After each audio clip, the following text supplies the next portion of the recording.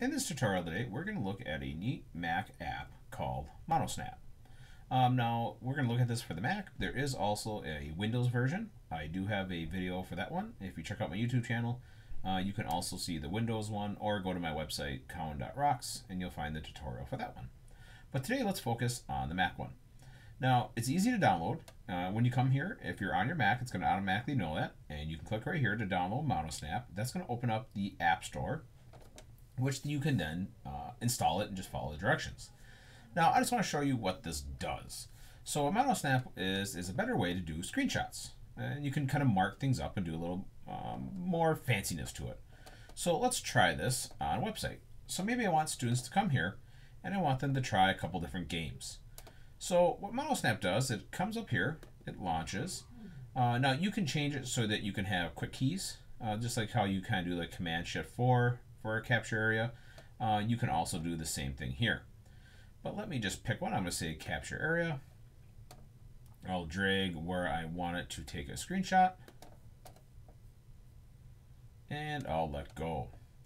Now once I let go, it brings this up so that I can mark different stuff on here. So maybe, for example, I can draw a little rectangle on my screenshot. And then I can add a little text area. Students, please go to, now let's say nasa.gov slash kids club.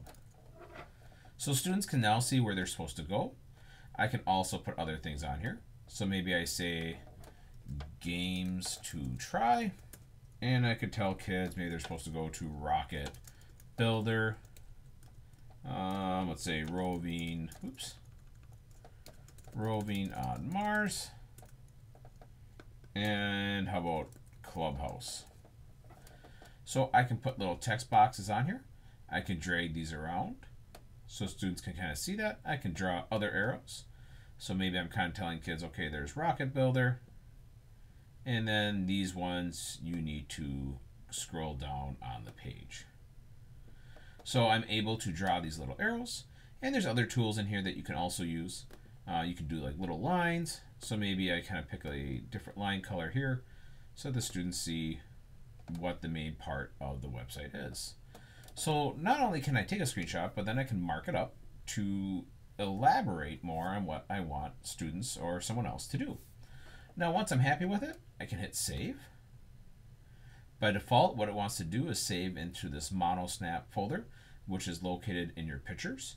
Uh, you can pick it to go somewhere else if you want, um, but otherwise, you know, it's a pretty good spot and it's not going to clutter up my desktop. So I can hit save, and now that image is saved successfully. So what that looks like, oh, you can see here's a bunch of different junking where it kind of just recently saved. So if I go to my pictures and I go to MonoSnap, here is that screenshot I just took. So a lot more than just doing a simple screenshot, I can actually mark it up to help people understand what I'm trying to explain to them. So thanks for watching this little tutorial on MonoSnap, and I hope you enjoy it.